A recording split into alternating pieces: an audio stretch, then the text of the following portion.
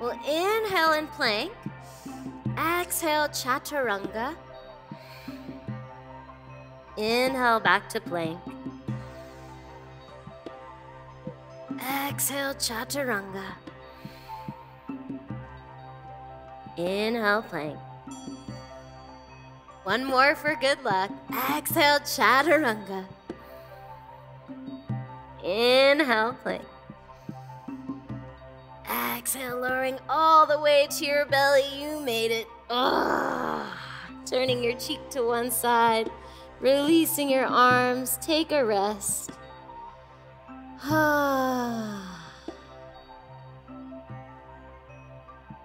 Feeling your belly. And check in with your heartbeat. This is a really great opportunity to feel your abdominal aorta. So there's your main heartbeat, which is in your chest. And there's a second heartbeat, which is in your belly. See if you can feel that deep belly pulsing. It's really subtle.